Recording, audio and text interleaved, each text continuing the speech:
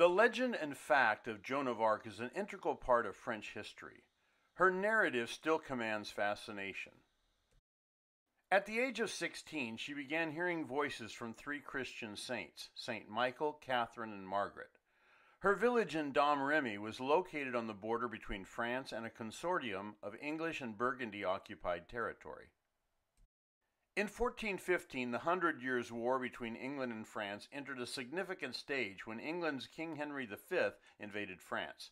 Seven years later, following a series of decisive victories, the English controlled the majority of northern France, including Paris.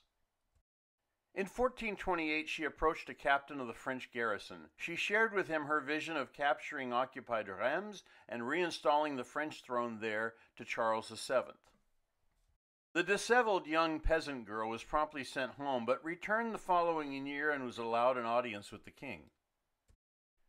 Dressed in men's clothes and accompanied by six soldiers, she laid out her vision for France to expel the English invaders.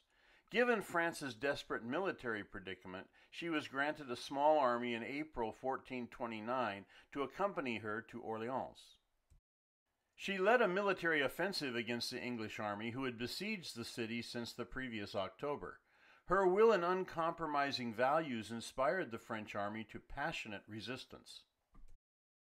They entered Orleans unopposed via the eastern gate. She personally led the charge in several battles and was wounded by an arrow to the shoulder on May 7th that was quickly treated.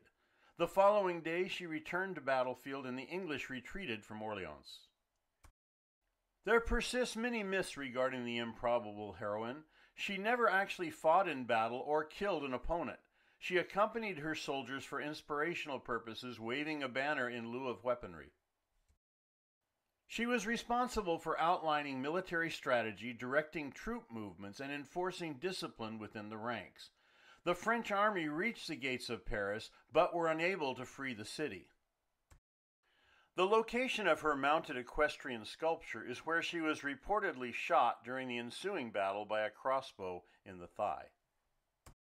She was a fearless risk taker whose luck and patron king would finally abandon her. Joan would be captured on May 23, 1430, when she led an unsuccessful attack upon the Burgundy army laying siege. She was sold to the English army. Charles VII refused to pay a ransom for her or intervene on her behalf. His indifference prompted the English authorities to burn her at the stake at the age of 19 in the old marketplace of Rouen. As the flames engulfed her, she shouted out prayers. Her sacrifice became a continued source of military inspiration. France would eventually be liberated from English control over the next 30 years. The Catholic Church recognized her as a saint in 1920.